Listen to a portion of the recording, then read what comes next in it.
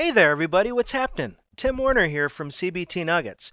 Thanks a lot for joining me for this micro nugget that's entitled Setting Up Google App Engine on Microsoft Windows.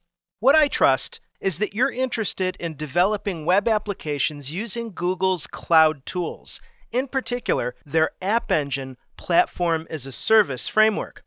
I'm also going to trust in this micro nugget that you're using Windows as your operating system platform and you're wondering how do you get your environment set up to begin programming. Now, as it happens, the Google tools tend to be friendlier on average for Mac systems as well as Linux systems. And the reason for that's pretty clear. Googlers themselves use Mac and Linux. They tend not to use Windows. So there's some gotchas and some things that I need you to be aware of. So why don't we pop open a virtual machine and I'll walk you through it now. Be aware, if you don't already know this, that there are a lot of Google Cloud tools, and you're going to be overwhelmed if you jump into all of them at once. Keep an eye out on the CBT Nuggets YouTube channel because I'm in the process of making a whole bunch of micro nuggets that seek to make the Google platform easy to comprehend. We're going to focus on setting up App Engine and App Engine only right now. As you get into more of the Google Cloud platform, you'll want the Google Cloud SDK, and on Windows that requires Cygwin and a whole bunch of other dependencies. Again, don't worry about that now. We'll cover that in another micro nugget. This is a pristine Windows system that we're on right now. I don't even have Python installed. So the very first thing you'll need to install, assuming that you're going to do App Engine work in Python, is go to python.org go to downloads and check this out. Gotcha number one. App Engine is working only with Python 2, not Python 3. So you'll want to download and install Python 2.7.6 first on your system. Now then, while that's cooking, I'll reopen my browser, and the next thing we'll want to download is the Google App Engine Software Development Kit, or SDK.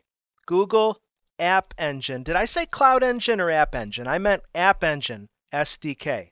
Whoops, if I can type. And I'm just running a simple Google search to find that. Here's the very first result here at developers.google.com.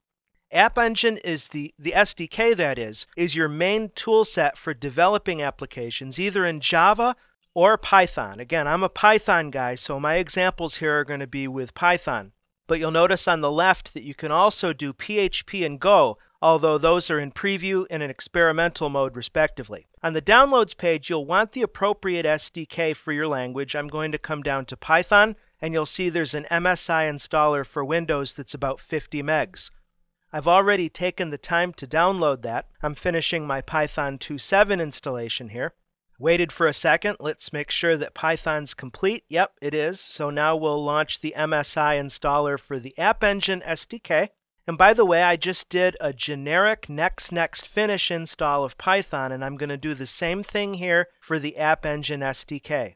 I want to definitely make use of my environment variables here. The Google tools will do a good job of trying to add their binaries and their command line tools, in this case a bunch of Python scripts, to your search path so that you can invoke the Python interpreter, and set up your development web server, and even upload your projects to Google, all using the command line. If you're inclined to use a graphical interface, you'll see in just a second that the App Engine SDK includes a graphical launcher.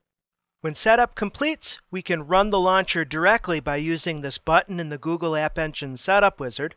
The App Engine Launcher is, as I said, the graphical user interface for managing your App Engine projects locally. This is, in fact, a Python GUI application. I'll spend a separate micro nugget at the very least teaching you how to use the launcher. But basically, what you can do is build your application. You can either create one from scratch or you can actually dip in. There's a guestbook sample application for Python. And once you have that there, you can start a development web server from the GUI by pressing run. Alternatively, there's the dev underscore appserver.py Python script that you can start the web server on your local system from a command prompt. And then if we hit browse, it'll pop open your default web browser and hit localhost 8080 by default. All of those ports and all of that stuff, the metadata is configurable. The idea here is that you just get to work on your application. So in this case, we would navigate to the project folder which is under Documents Guestbook, and there we have a sample Py file all ready for us to open in our favorite editor, you see? When you're ready to deploy the local project to Google, you just hit deploy, or alternatively, you can use the app config command line tool. Final thing I want to say is you also want to make sure on the server side you have a free Google Cloud account. What you'd want to do is again hit your browser, go to cloud.google.com and hit try it now. That'll take you to the Google Development Console after you log in. Now, a requirement to be a Google developer is just that you have a Google account. So I could use my CBT Nuggets account. We use Google Apps at CBT Nuggets. So I'll authenticate. You could always create a Google account from scratch if you want to. And there it'll take you into console.developers.google.com. There's various aliases that get you to the Google Developers Console, and it prompts you to create a new project. There are some other things that you want to do here in the project's interface. I will cover that in additional micro nuggets. But in summary, you wind up having your local development environment here on your system and then you have the published product that's accessible and manageable through the Google Developers Console. Wasn't too difficult to get that set up, right? Oh, yes, there's one more thing that you might want to do at the least before you get too far in your coding. Let me open up an additional File Explorer window and show you. There are the Google Python API client files, which come in a zip. If you're going to be using things like OAuth or the HTTP lib, you'll want to get these from this archive and literally just unpack these libraries into your project folder. Now, where did I get those files on the web? I'm glad you asked. Just simply do a Google search for Google App Engine Python API. Or better yet, Google App Engine Python API Client. It's called the Google API's Client Library. Again, it's easy to install from the command line under Mac and Linux. For Windows, there's a link buried in here somewhere, there it is, that takes you to this repository at code.google.com.